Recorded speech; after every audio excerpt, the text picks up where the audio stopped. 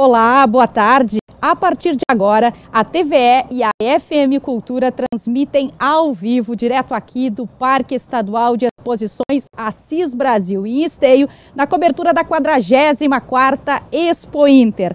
Essa programação você também pode conferir pelo site da TVE e pelo Facebook TVE RS.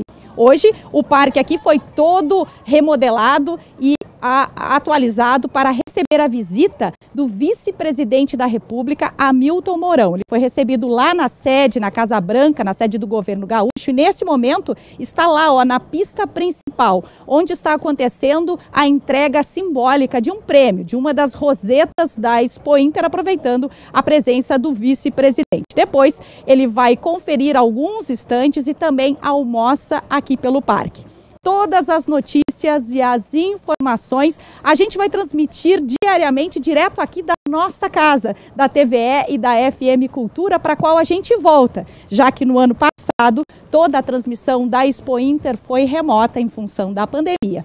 Nesse ano, a volta do público vai acontecer com protocolos diferenciados de cuidados sanitários. A gente conversou com o Gabriel Fogaça, que é o prefeito, digamos assim, o subsecretário do parque, e ele explica para a gente quais são essas novas regras. A vida aqui dentro ela não vai estar tá muito diferente da vida ali fora. Ou seja, para conferir as atrações na Expo Inter, todo mundo de máscara, mantendo o distanciamento, lavando as mãos e usando o álcool gel, que estão disponíveis em estações espalhadas pelo parque. O público foi limitado a 15 mil ingressos diários, mais 10 mil trabalhadores e expositores, cumprindo determinações da Vigilância em Saúde. A tecnologia vai ajudar a controlar em tempo real, com catracas e sensores e câmeras, a quantidade de pessoas em alguns pavilhões. Chegando próximo ao valor máximo permitido em cada um desses setores, uh, é, acende uma bandeirinha amarela. Chegando na bandeira vermelha, que é o máximo permitido, as entradas são fechadas. Aí até retornar a bandeira verde, o número mais uh, seguro de permanência. Não vai ser possível os produtos nos estandes da agricultura familiar, mas tem restaurante no local e em outros pontos, cumprindo os protocolos de segurança para alimentação. 100 monitores identificados estão rodando pelo parque para o cumprimento das regras. Eles alertam, uh, conversam, tem a supervisão. Não funcionou, sobe um degrau. Fala com a vigilância e tal. Não funcionou, sobe um degrau. E assim o pessoal também tem que estar bem consciente, né? Que é o que está sendo cumprido ali fora também vai ser cumprido aqui dentro. A Expo Inter é uma das primeiras feiras agropecuárias com público e deve servir de teste e modelo para outros eventos. O agro vem numa super safra da abertura mercadológica em função da retirada da vacinação da aftosa para a nossa pecuária. Vem de um ano difícil, porém que o agro não parou, não deixou faltar alimento ali para todos os nossos consumidores. E a própria realização do Expo Inter em si, ela também é uma superação que a gente percebe nas nossas copromotoras, é que entrou no DNA deles, de cada pessoa que está aqui, que do cumprimento dos protocolos de saúde, né? Que isso é uma regra que somente através disso que está nos possibilitando aqui de, de realizar essa feira.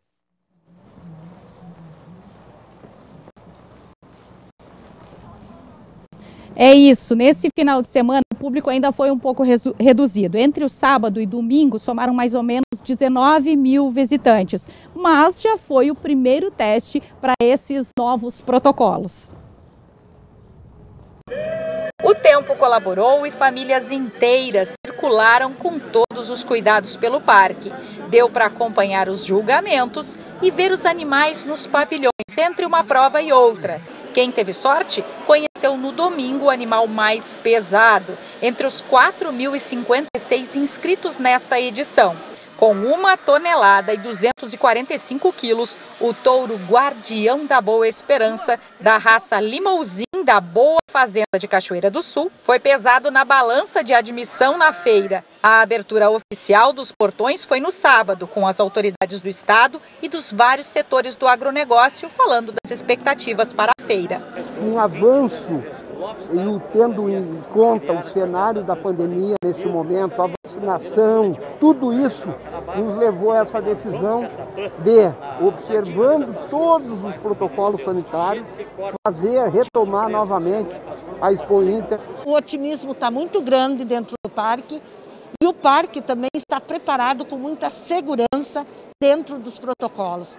Então eu vejo que tranquilize e passo a todos os nossos visitantes. Venham, que está bonita a Expo Inter e está seguro dentro do parque com prevenção para a questão da Covid-19, nesse ano com o reconhecimento de zona livre da febre aftosa aqui para o Rio Grande do Sul, mas com um sinal de alerta levantado nesse final de semana. O Ministério da Agricultura identificou no sábado dois casos de encefalopatia espongiforme bovina atípica, mais conhecida como o mal da vaca louca. Esses animais foram encontrados em frigoríficos de Belo Horizonte, Minas Gerais e também em Nova Canaã, no Mato Grosso. Por enquanto, estão suspensas as exportações para o nosso principal destino da carne brasileira, que é a China. A gente pediu para o presidente da Associação Brasileira de Angus, o Nivaldo Dziekanski, falar para o assunto. Sobre esse assunto, confere aí. É, automaticamente os embarques ficam suspensos por 15 dias. No último acontecimento, ficaram exatamente por 14 dias. Então, é, é, um caso atípico, não é o caso clássico, não é por contaminação alimentar e nós estamos confiantes de que nesse prazo de 15 dias tudo será esclarecido e tudo retomará o normal. Nós teremos problemas com abates em alguns frigoríficos? Provavelmente sim, mas aí nós vamos analisar, estamos analisando caso a caso e dentro desse prazo tudo voltará ao normal. Tá pensando em vir até aqui ao Parque de Exposições Assis Brasil? A gente apresenta para vocês a previsão do tempo.